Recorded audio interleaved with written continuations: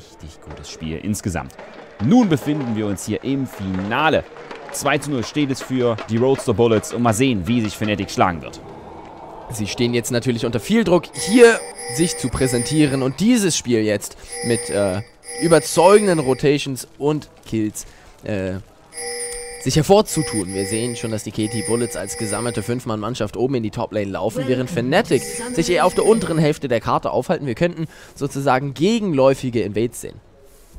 Das ist auch sehr interessant, weil zuvor hat sich eigentlich, ähm, oder haben sich die europäischen Teams mehr darauf versteift, einfach nur die Eingänge zu überwachen. Diesmal sagen sie sich, okay, wir sind selber die Aggressoren, gerade mit einem Thrash geht das ganz gut. Wer da vom Hook getroffen wird, von dem bleibt in den meisten Fällen nicht mehr viel übrig, wenn man auch die restlichen Champions auf der Seite von Fnatic bedenkt. Eine Runde haben sie nun gedreht, aber Katie Rhodes, the Bullets, dachte wahrscheinlich, dass man eher über die Toplane rotiert. KT Bullets sind hier immer noch sehr vorsichtig und sitzen alle, haben noch nicht den Invade hingelegt und Fnatic müssen sich halt langsam fragen, beziehungsweise müssen jetzt wissen, dass KT Bullets sich nirgendwo auf der unteren Hälfte der Karte aufhalten. Die Frage ist, wie reagieren sie jetzt? Renekton geht zurück. Und das ist das eindeutige Zeichen, dass hier ein Lane-Swap durchkommt von den KT Bullets. Fnatic wird nach unten in die Bottom-Lane gehen, während Karma und Lucian hier oben bleiben. Ja, der gleiche Plan liegt aber auf der Seite von Fnatic. Sie wollen halt die Vayne so sauber wie möglich durchbekommen.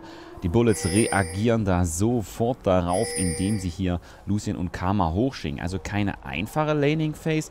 Damit aber natürlich ein paar Kriterien erfüllt, ähm, dass man den Baron, äh, den Baron sag ich schon, den Drake, mit einer gewissen ja, Unterzahl in ungefähr machen muss. Weil Botlane rotiert jetzt hier ähm, komplett nach unten.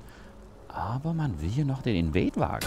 Also KT Bullets wollen offensichtlich sich dort den Blue Buff einsammeln. Und äh, LeBlanc wird jetzt merken, da ist noch niemand. Und die KT Bullets machen den doppelten Lane Swap. Sie bringen Gragas nach oben und Karma und Lucian in die Midlane. Ja, das ist ein Riesenproblem für Xpeki, denn man muss ja dazu sagen, LeBlanc wird da hart gecountert. Sie hat keinen guten Wave Clear. Ihr einziger Vorteil in Anführungszeichen besteht darin, dass sie wenigstens Ranged Auto-Attacks hat. Das heißt, sie kann da ihre nicht massive Reichweite ausnutzen, aber vielleicht so in aller Ruhe an CS kommen.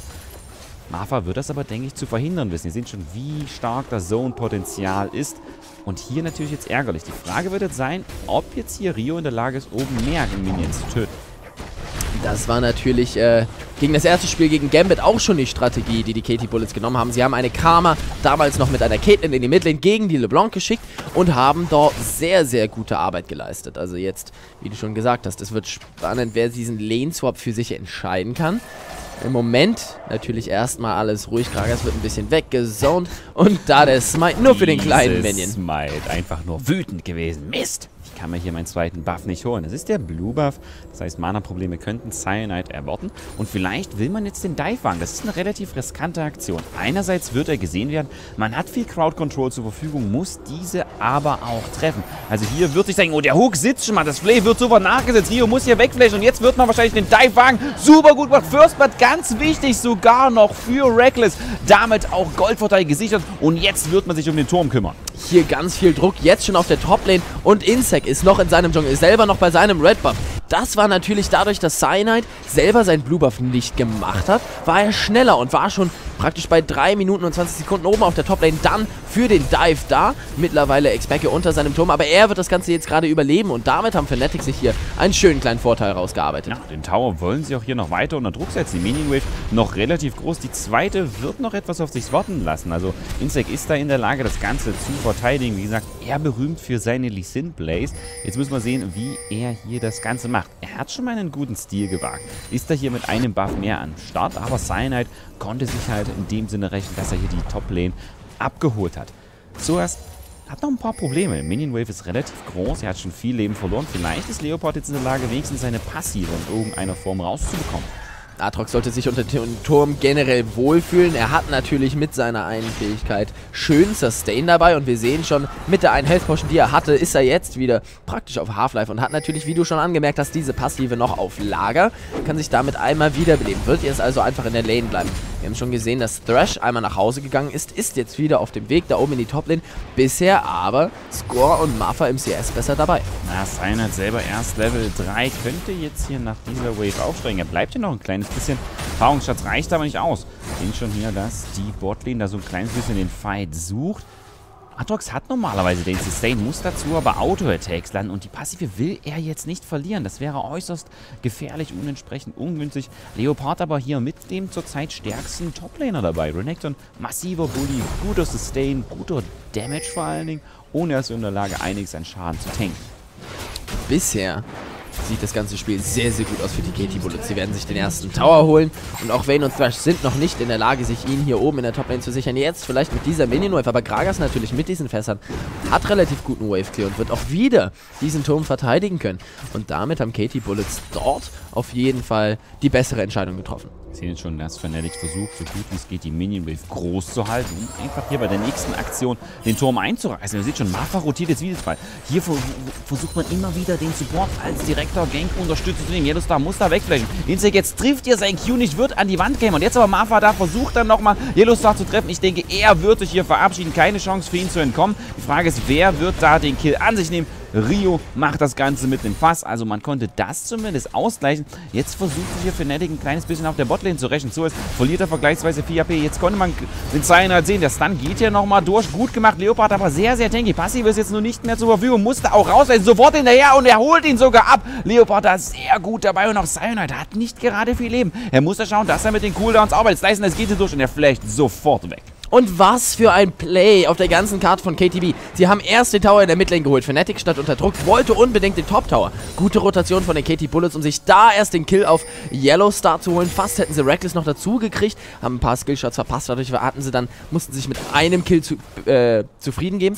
Aber dann ganz wichtig, wie stark Leopard hier eben war. Hat sich in einem 1 gegen 2 behaupten können. Zwei Flashes rausgekriegt und einen Ignite. Und selber nur seinen Flash und Ignite rangeben müssen. Also er da auf jeden Fall mit einem riesen Vorteil in dieser Lane. Hat fast, hat mehr als doppelt so viel Farm wie sowas. Und ich glaube, der letzte Faktor ist so ziemlich der schlimmste, denn er hat sich jetzt dazu entschlossen, den Tiamat sehr früh zu kaufen. Mit Renekton hat man verschiedene Möglichkeiten, was das Item-Build angeht. Das heißt, man kann Tanky gehen, man kann auch die Semi-Variante wählen, indem man sich sagt, okay, schon erst den Tiamat, da kriege ich auch einen ganz guten, ähm, ausgeglichenen Sustain mit der hohen Regeneration und bin damit auch in der Lage, Schaden rauszubringen. Und hier können wir sehen, das Ganze wird jetzt ja auch noch in dem Drake enden.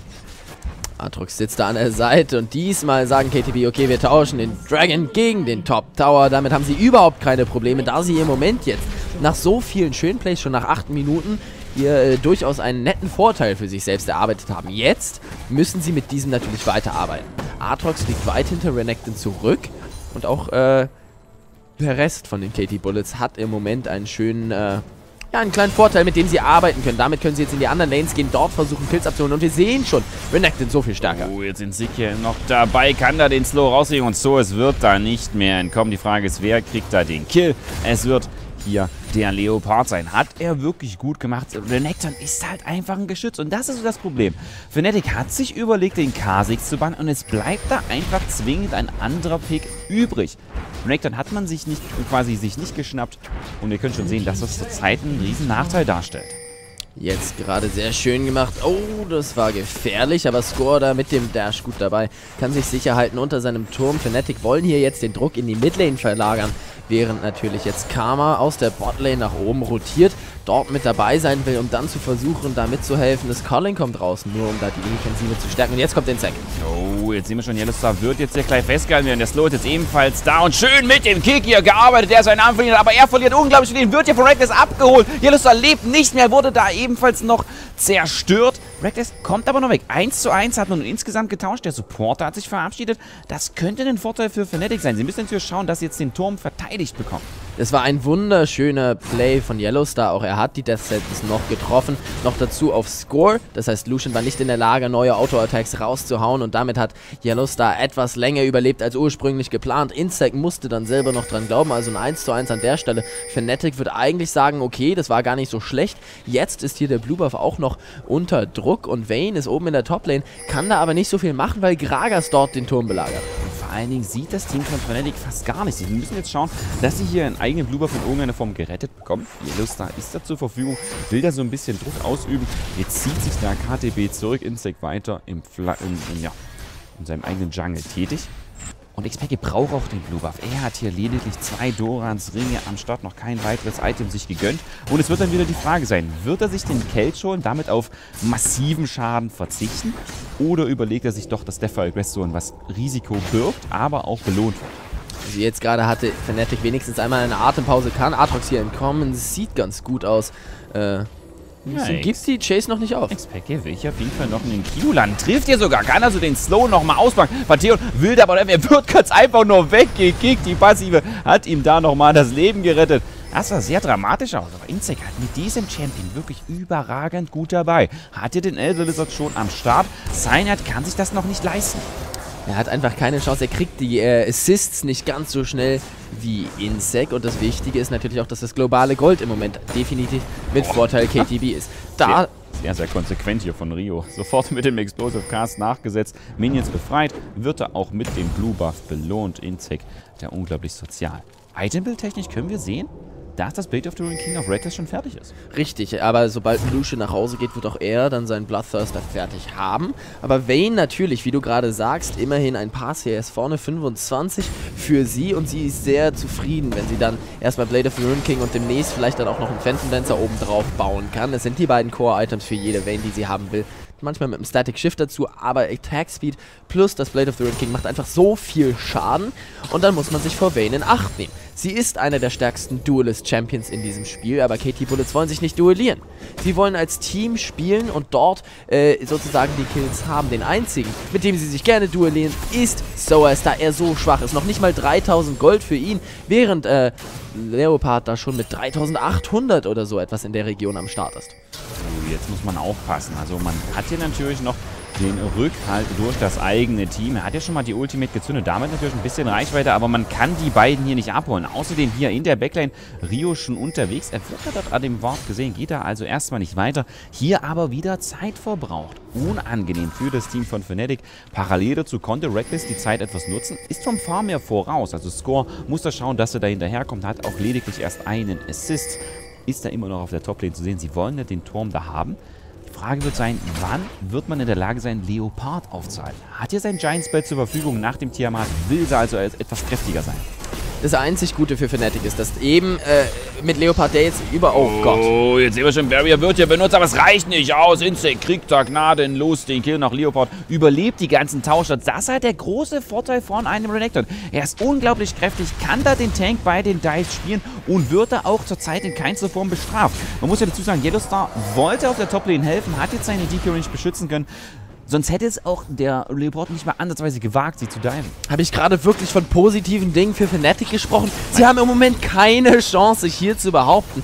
4000 Gold nach nur 13 Minuten für KT Bullets. Sie sind 5 zu 2 in Kills, 3 zu 1 in Towern. Sie haben die ganze Karte in ihrer Kontrolle. Und an dieser Stelle ist Fnatic einfach nur noch in der Defensive. Und sie können nicht irgendwo hingehen, ohne dass sie ständig abgeholt werden.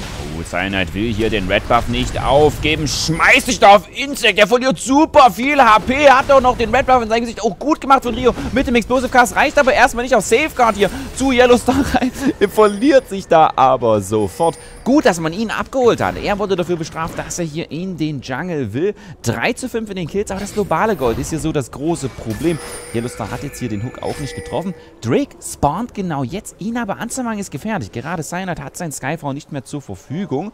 Muss natürlich gucken, dass man jetzt hier genug Druck aufbauen kann. Aber selbst da, ja, Fnatic hat den Catch gehabt. Sie haben Insect, den gegnerischen Jungler, eingesammelt und waren trotzdem nicht in der Lage, in praktisch einem 5 gegen 4 Szenario den Dragon anzufangen. Sie sind so weit hinten dran dass sie sich so etwas nicht leisten können. Und das ja, verlangsamt sie natürlich. Stattdessen mussten sie jetzt so lange warten, dass Lee Sin wieder auf dem Weg ist und stattdessen fangen Katie Bullets den Dragon an. Sie haben den letzten schon geholt und es sieht so aus, als ob sie auch diesen für sich nehmen könnten. Ja, da hat ganz einfach Fnatic keine Chance, da irgendwie gegenzuhalten. So als versucht, auf der Top ein bisschen Druck auszuüben, dass man sich eventuell den Tower da holt, geht aber nochmal den Weg über die kleinen Golems. Also Insect macht das hier herausragend, war zur richtigen Zeit wieder da, um mit dem Smite zu arbeiten. Zuas hier bei den Golems beschäftigt, snappt sich da so ein kleines bisschen Gold, ist aber immer noch sehr, sehr weit zurück, wenn man es hier mit Leopard vergleicht. Also Renekton wird zum Geschütz, hat sein Omen bereits oder fast zur Verfügung, damit auch nicht mehr, äh, damit auch Reckless nicht mehr in der Lage zu kiten. Er wird bei jedem Auto-Attack verlangsamt werden. Das Einzige, worauf Fnatic jetzt gerade ihre Hoffnung setzen kann, ist, dass sie immer wieder Picks kriegen. Aatrox wurde jetzt mehrfach etwas in Ruhe gelassen, hat immerhin ein wenig im Farm aufgeholt, da oben in der Toplane. diese ein wenig gepusht, hat jetzt einen Bilgewater Cutlass zusätzlich zu seiner Chain West, aber das alleine wird noch nicht reichen, um auch nur ansatzweise gegen diesen Renekton gerade zu kämpfen. Er braucht noch eine ganze Weile, damit er stark genug ist, um dort dieses Duell eingehen zu können, auch nur ansatzweise. Bis dahin aber haben Katie Bullets die Dominanz auf der ganzen Karte. Und Fnatic kann nur hoffen, dass Katie Bullets Fehler machen, sich alleine in den gegnerischen Dschungel bewegen, ohne dort Wards zu haben und dass Fnatic dann die Möglichkeit hat, einzelne Kills einzusammeln.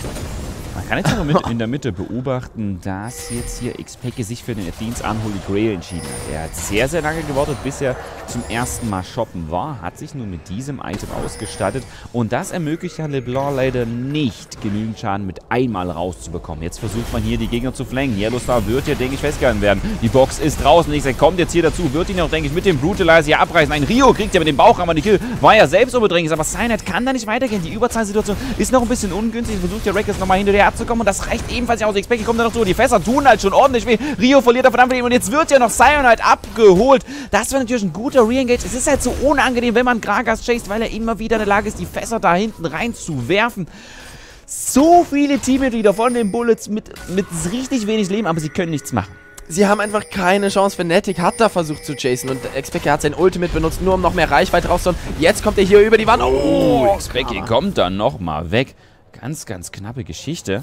Wäre hier Rio in der Lage gewesen, das Ignite auszupacken, hätte sich, denke ich, Peke verabschiedet. Aber, oh gut, das war super aggressiv. Vor allen Dingen, dass Q ganz knapp an den Geistern noch vorbeigeschossen hat. Aber das war ganz gefährlich. Immerhin, das ist der Grund, warum man nicht schon in den Shop geht und schaut, was man sich für Items kauft, bevor man wirklich in der Base ist. Expected da noch in der Lage, mit der Distortion wegzukommen. Katie Bullets jetzt. Immer mehr Druck. Sie geben Fnatic nicht die Atempausen, die sie brauchen würden, um in diesem Spiel noch wieder zurückzukommen. Stattdessen erhöhen sie den Druck immer, immer weiter. Die Daumenschrauben werden hier angezogen. Und jetzt Lucian zum zweiten Mal baut er sich die Trinity Force auf. Ja, hat sich für ihn auf jeden Fall im letzten Spiel bewährt.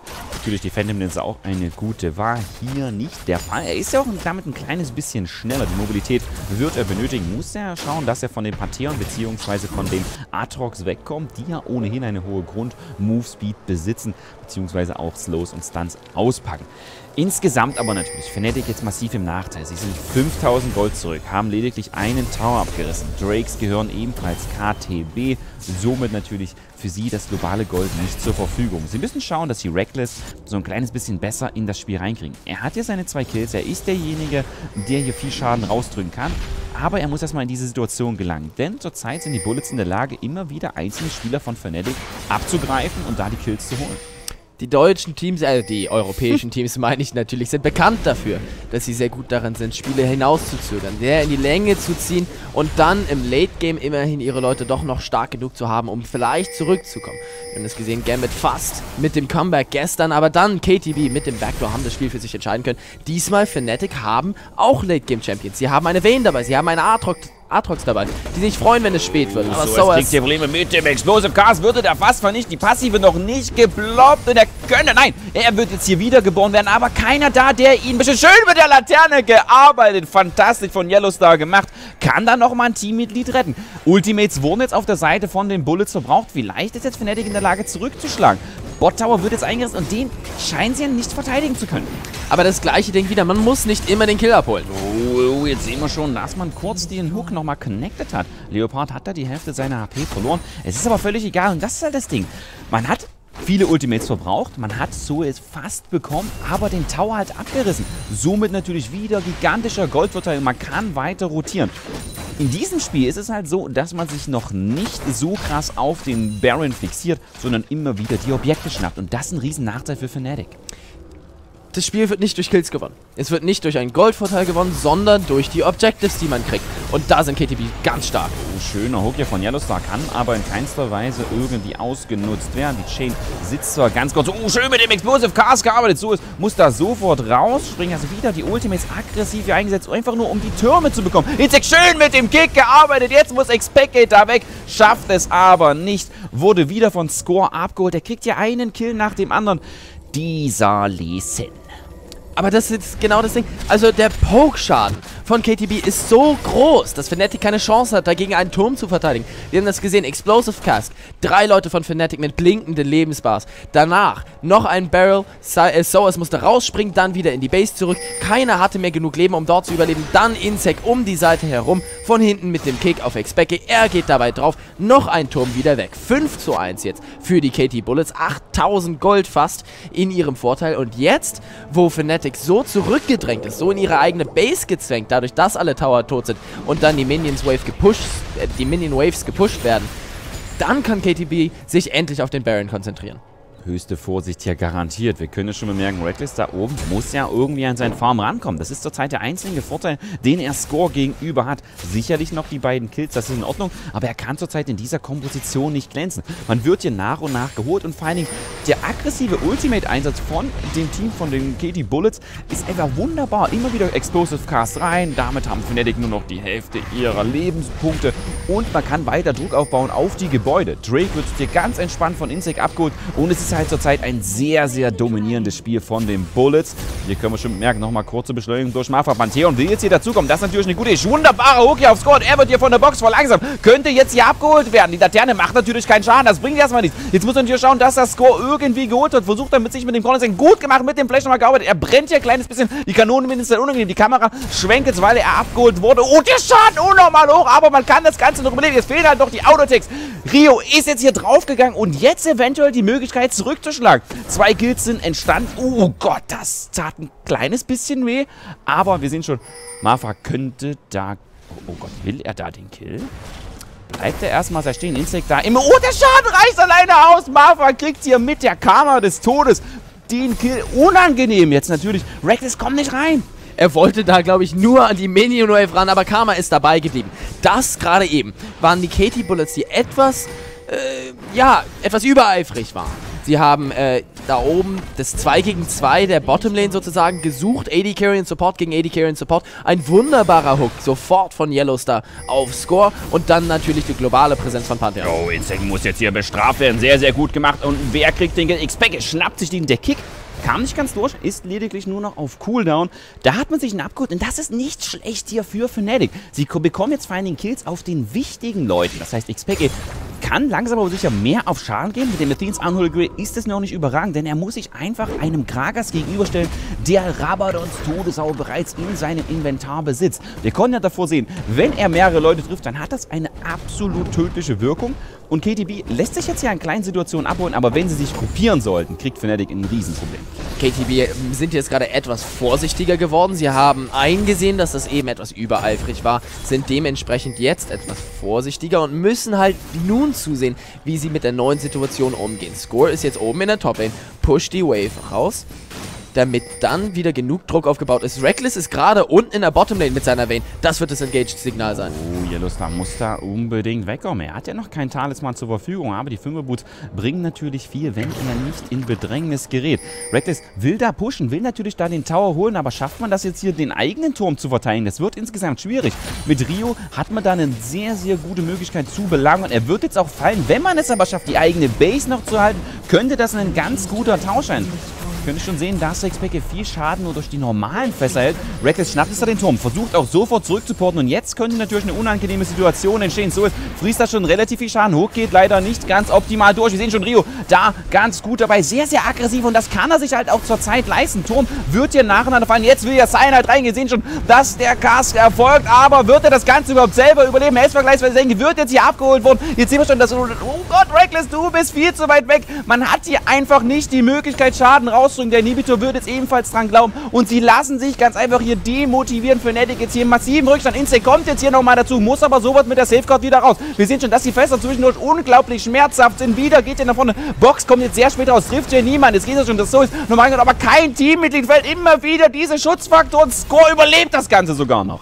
Und das war wirklich Fnatic. Sie wollten da irgendwie diesen Tower-Tausch erzwingen, aber es war für sie vorher schon schwierig genug, 5 gegen 5 zu verteidigen. Und dann Vayne, die einzige Hoffnung, die sie wirklich haben, 2-2-1, 200 CS, war nicht dabei. Und dann haben sie überhaupt keine Chance mehr, ihre Türme Oh, er kriegt den mit dem Crit und dem Schaden super gut gemacht. Also da ein kleiner Rachakt. Man muss halt schauen, dass man auch die Base erreicht. Ja, gut, also es ist immerhin ein Kill, noch ein weiterer Kill auf äh, Vayne. Jetzt können sie versuchen, den Baron zu kriegen, nachdem der AD Carry tot ist. Das ist ihre einzige Hoffnung. Sie müssen das schaffen, weil ihr oberer Inhibitor schon tot ist. Sie müssen jetzt alles holen, was sie irgendwie in den Griff kriegen, um dieses Spiel noch gewinnen zu können. Oh, die Kette hat sich irritierenderweise trotzdem noch verwunden, aber Insec hat da, hat bereits schon einen Mord platziert. Der Baron verliert hier sehr, sehr viel Leben. Pinkward ist ebenfalls noch da. Man muss natürlich schauen, dass man das Ganze klärt. Cyanide hier bereits mit dem Resident Evil Strike markiert. Der Baron verliert sehr, sehr viel Leben. Man könnte jetzt mit dem Smite arbeiten, aber Insect natürlich nicht um. Wir sehen schon, dass hier Marfa immer wieder versucht, mit dem Poke-Damage auszudrücken, aber ja, man zieht sich zurück und das ist jetzt ein riesen Nachteil. Man hätte jetzt ein Comeback wagen können. Sein hat aber überhaupt kein Leben mehr übrig, um irgendwas zu machen. Und ich denke, die Bullets werden sich jetzt entweder entspannen und weiter pushen oder sie sagen, okay, wir schnappen den Baron. Sie haben jetzt gleich ihren äh, AD Carry wieder mit dabei und sie sind einfach so dominierend. Sie haben gerade den gegnerischen Jungler nach Hause geschickt.